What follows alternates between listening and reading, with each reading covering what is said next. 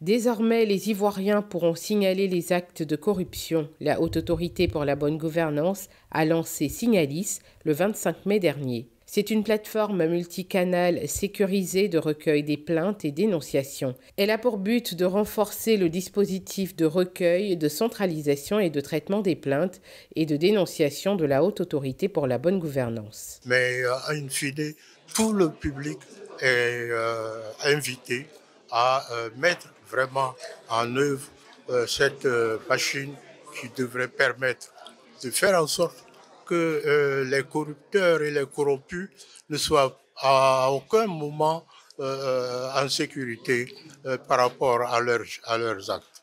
En garantissant la confidentialité des informations et l'anonymat, la plateforme permet de créer la confiance nécessaire au niveau des requérants pour une meilleure collaboration une collaboration qui permettra d'obtenir des dossiers de grande qualité et facilement exploitables. Ce système va nous permettre de pouvoir recevoir les informations en toute sécurité, c'est-à-dire les gens n'auront plus peur de dénoncer, tout en sachant que leur nom, c'est-à-dire dans le domaine de la sécurité des de données à caractère personnel, ne seront pas connus, donc les représailles seront minimes, ce qui permettra aussi aux gens et va encourager les gens à s'approprier du système et à dénoncer et à la haute autorité de faire son travail euh, directement avec les populations.